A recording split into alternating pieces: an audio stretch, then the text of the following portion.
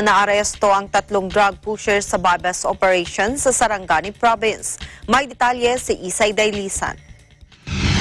Naaresto sa sunod-sunod operasyon ng tropa ng Philippine Drug Enforcement Agency o PIDEA Region 12 ang tatlong drug pusher na pawang kalalabas lang ng Rehabilitation Center.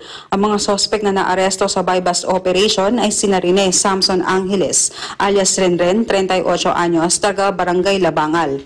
Ikalawa si Melchizedek Lion Marquiso alias Bapamar, 51 anyos na taga Silway Fatima Barangay West General Santos City at si Benjamin Cosip Licaros alias Benji, 42 anyos na taga Purok Maharlika, Alabel, Sarangani Province. Una na aresto sa bypass operation ang suspect na si Angeles sa Osmeña Street alas 11 ng tanghali kung saan itinuro niyang kanyang source. Dahilan para maaresto naman si Marquiso sa Rambutan Street, Barangay East Jensan. Alas 7 ng gabi muling nagsagawa ng operasyon ng PIDEA 12 kung saan naaresto si Licaros sa harap ng Sarangani Capital Compound sa Alabel. Nakuha sa mga sospek ang sachet ng hinihinalang shabu at buy-bust money. Ang mga sospek ay kasalukuyang nakakulong ngayon sa lock-up cell ng PIDEA Region 12. Si Angeles at Licaros ay kalalabas lamang ng SOC Sergeant Drug Abuse Treatment and Rehabilitation Center sa Alabel.